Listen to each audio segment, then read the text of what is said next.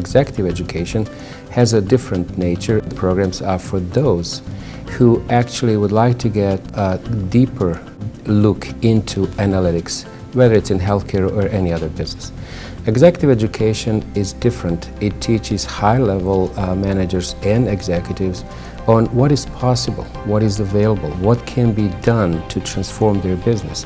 And they don't have time to attend a two-year worth of classes.